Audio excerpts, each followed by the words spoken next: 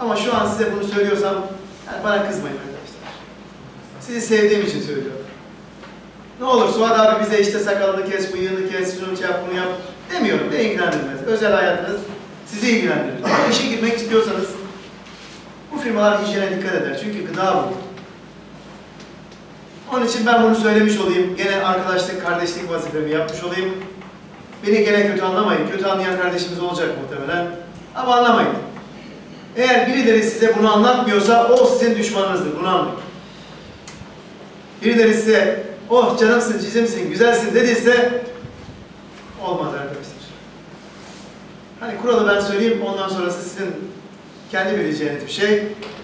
Tabii biz burada sadece birkaç firmaya mülakat yapmıyoruz.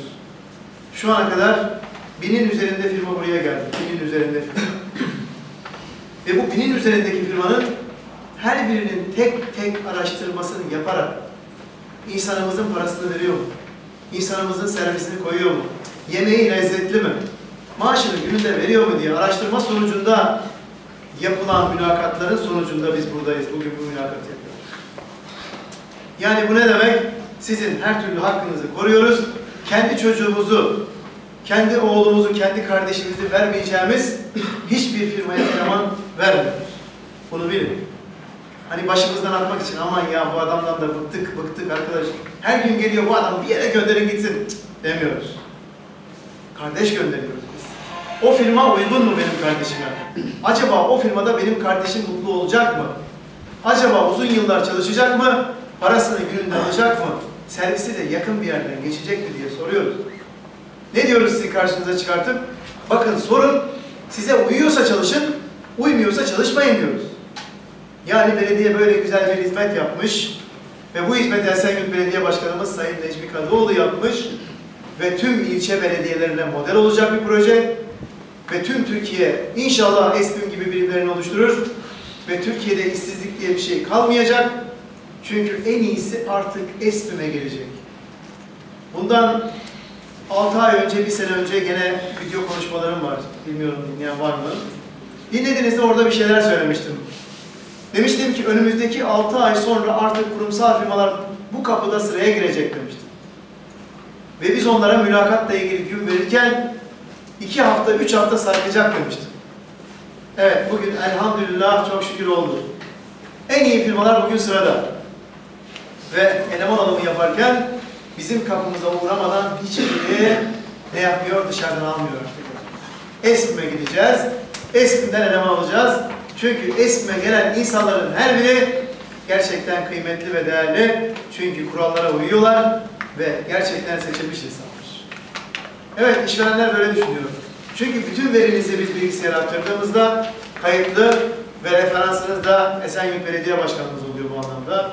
Ve insanlar da artık çok rahat bir şekilde sizi iş yerine kabul edebilirler. Güzel değil mi arkadaşlar? Bakın bir kardeşim Hariba'ya gitmiş. Hariba'ya kim gitti? Biriniz gitmiştiniz kayıt olmaya. Sen mi gittin? Görüşebildin mi kimseyle? Görüşelim. Görüşemedin değil mi? Niye? Niye görüşemedin biliyor musun? Niye görüşemedi bilen var mı? Çünkü nereden geldiğini bilmiyor insan. Görüşmezler. Ama şu anda nereden geldiğinizi biliyor herkes. Esenyurt Belediyesi'nden biliyor. Eskiden geldiğinizi biliyorlar. Onun için şimdi mülakat esnasında hanımefendi yukarıda insan kaynakları uzmanı. Şimdi birazdan yukarıya alacağız. Grup halinde alacağız. 20'şerli gruplar halinde alacağız. Sırayla birebir görüşme yaptıracağız. Ve uygun adayı seçecekler. Ve bu seçtikten sonra da bir evrak sesi verdiklerinde ise hastaneleri var. Kendi anlaşmalı hastanelerine gönderecekler size. Orada ücret vermeden check-up yapacaksınız. Bu da bir 10 günlük bir süreç. Bir 10 günlük süreç çünkü. Hastanelerin raporları çıkması lazım. Hijyen olduğunda, çünkü hijyen en ufak bir rahatsızlık olduğunda hiç kimse olmalı almaz. Ve sağlıklı mısınız, değil misiniz diye o rapor çıkacak. Rapor çıktıktan sonra da sizi işbaşı yaptıracaklar. Yani şu anda ilk mülakatı yapacağız. İkinci mülakatı bu seçilen kardeşlerimizi bize gelerek biz arabayla direkt firmaya götüreceğiz. İkinci görüşme. İkinci görüşmede de eğer firmayı siz görür, firma sizi görürse eğer beğenirse, siz de razı olursanız ne yapacaksınız? Çalışmaya başlayacaksınız. Yani eskiden giderdiniz firmanın kapısına, hiç tanımadan bilmeden işe girerdiniz. İçeriye bir girdiğinizde memnun olmazdınız, kaçardınız hemen. Firmayı görme şansınız bile yoktu. Ama bugün hem burada birebir görüşmede hem de firmanın içerisine gidip gezip göreceksiniz. Siz hoşunuza giderse çalışacaksınız. Ne güzel değil mi? Hem burada belediye hizmet ediyor mekanında. Birebir insan kaynakları müdürünü dikiyor karşınıza. Ve sonra insan kaynakları müdürü buradan elemanı alıyor. Sonra firmaya kadar gene Esenyurt Belediyesi yanınızda. Firmaya kadar size teslim ediyor. Sonra görüyor tekrar geri getiriyor. Sonra evrakları hazırlıyorsunuz tekrar götürüyoruz. Ya sonra? Sonra iş yerinde kardeşlerini gidip ziyaret ediyor. Bizim kardeşlerimizin çalışma ortamı iyi mi? Maaşınızı gününde aldınız mı? Yemeğiniz lezzetli mi? Mutlu musunuz?